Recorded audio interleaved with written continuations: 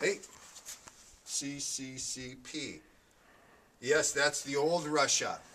Putin free. Now Putin free. Well, let's move on.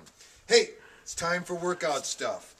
You know, I'm all about old school, Mr. Old School. I'm just old.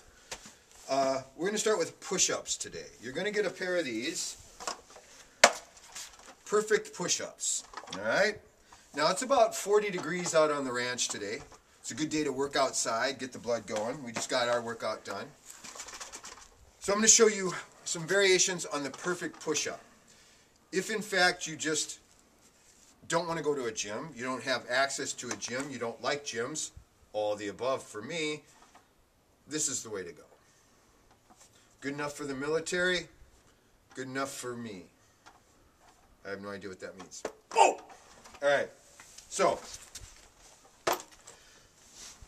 the nice thing about perfect push-ups is, as opposed to a regular push-up, so let's get a shot of this. This is a regular push-up, right? Good. You can't go below the deck, all right? With a perfect push-up handles, you get to go below the deck. Boom, look at that stretch.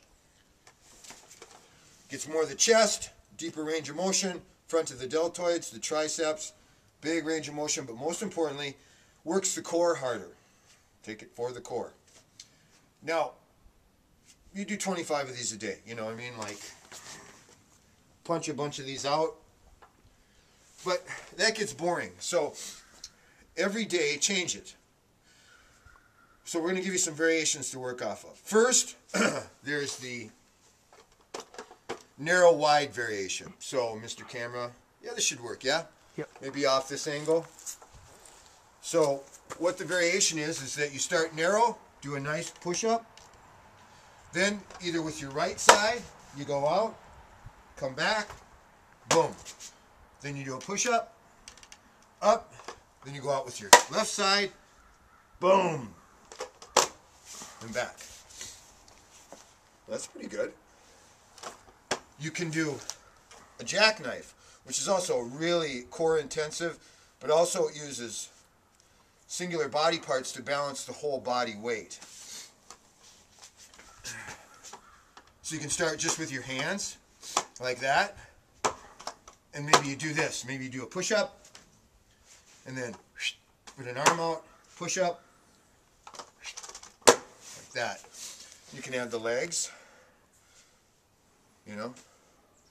Um, you can switch back and forth. Maybe you do a, a jackknife like this, and then your next set, you just do a traditional jackknife. Boom. Mix it up.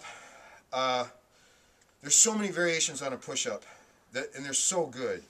You know, the last variation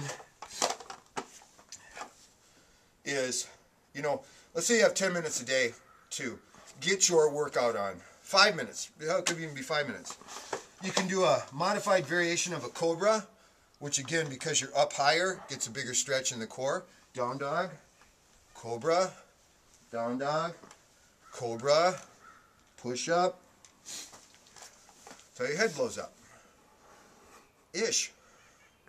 Hey, come back for the next blog because then we're going to do like other stuff with the rings and all kinds of fun stuff. Goodbye.